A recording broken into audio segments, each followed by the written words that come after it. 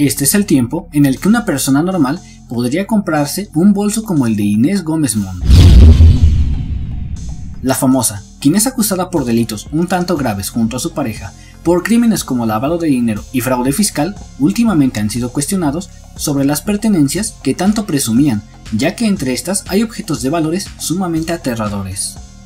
Luego de que Inés fuera acusada de tales delitos, rápidamente los internautas comenzaron a relucir pertenencias de las que es portadora, pues los lujos que se daba con ropa o accesorios no eran nada baratos, ya que al ser de diseñador cada una de sus prendas llevaban consigo precios desorbitantes. Es así que en esta ocasión queremos hacer la comparativa de un bolso francés de la marca Birkin, valuado actualmente en 4.4 millones de pesos, con el salario mínimo que una persona normal puede llegar a ganar en México. Siendo así que de acuerdo con el dinero que un trabajador puede ganar en el área de la frontera norte del país son 213.39 pesos, lo cual lleva por resultado que habría que estar laborando durante 20.657 días para comprar algo así, y de manera un tanto más reducida, son alrededor de 56 años de vida.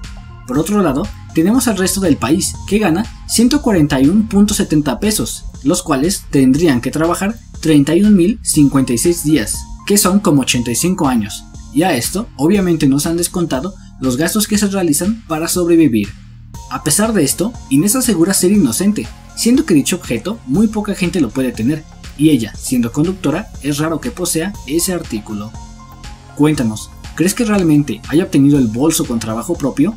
Haznoslo saber en los comentarios. Además, no olvides suscribirte y regalarnos un like.